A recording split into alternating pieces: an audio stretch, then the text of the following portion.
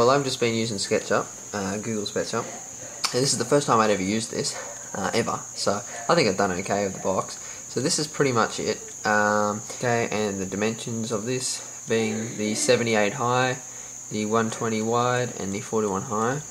Now the port is there, okay, ah, perfect. And um, I've actually I've made the size, the 16mm MDF around it, okay, and that's the port on the inside there. Now I didn't, I don't know how to make it 3D and go into the actual box, so I didn't do that yet.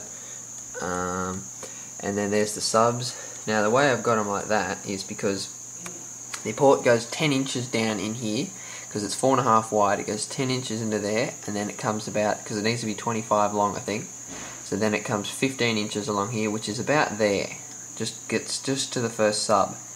Okay, and then the whole idea is that all the subs have equal um, distance behind them, so they're all there, and then there's the gap here.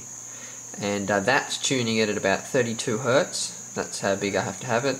Um, the box is, mm, yeah, 93 litres and everything. Um, tell me what you think of that.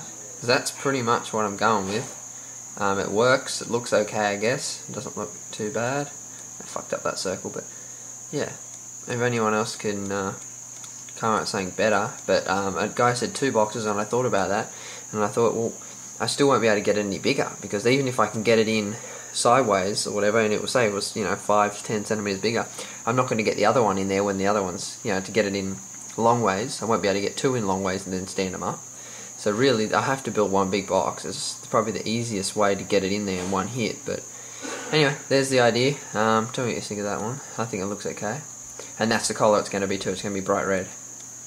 Uh, and then in the port it's going to be the um, MDF colour. Yeah.